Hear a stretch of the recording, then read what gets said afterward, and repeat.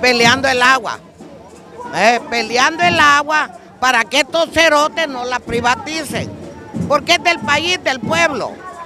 ¿O no? ¿Para qué la quieren? Mira, podemos vivir sin comida. Nos comemos las hojas de los árboles. Que no hay luz, no hay electricidad. Nos alumbramos con candela, pero ¿y el agua? Ahí no quieren topar los cerotes, pues con ese líquido es vital. Y que no la pueden preparar, porque la quieren para exportarla. Ya la están vendiendo. Aparte, fuera de nosotros, yo me doy cuenta. ¿Por qué hay tanta compañía de agua? Porque se las venden a nosotros no nos dan agua. Y el recibo llega. Yo se lo digo a cada rato. No manden recibo cuando no den agua. ¿O no? Sin agua no podemos vivir. Y si no, que coman mierda todos esos cerotes. ¿Ok? Cuídense, mi amor. Ustedes, esos cerotes, no.